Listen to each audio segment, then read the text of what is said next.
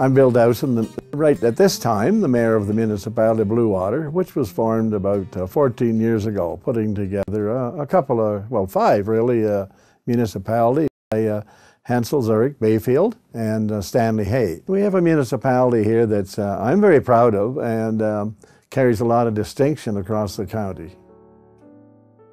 The family arrived in Huron County, to the best of our knowledge, in around 18, uh, 1833, 34 uh, at that time. Uh, mostly, predominantly Irish and uh, English thrown in. I've never heard our family uh, discuss uh, much on Scottish ancestry. The farm that they bought, and back at that day when they come here, was from the Canada Company.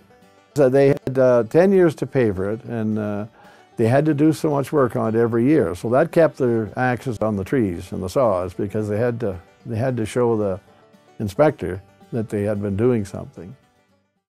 Well, my ancestors, both sides, uh, were very strong people in promoting Varna, this little hamlet, and uh, I, I can, I, I, I've seen the remnants of Varna, uh, where I can tell you where the old post office was. There was a bank, there was an undertaker, there was two grocery stores in early days, and uh, two gas stations, uh, a blacksmith, and there was everything in Varna that made a town village work.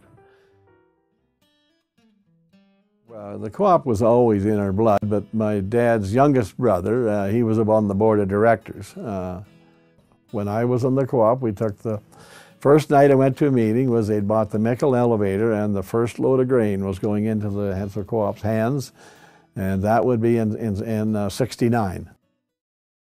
I had a brother and a sister. My brother was killed in a farm accident when he was 18.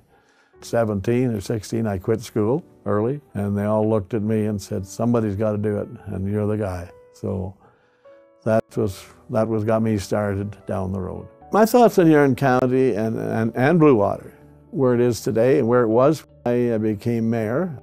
Our wealth is our family and the land we've accumulated.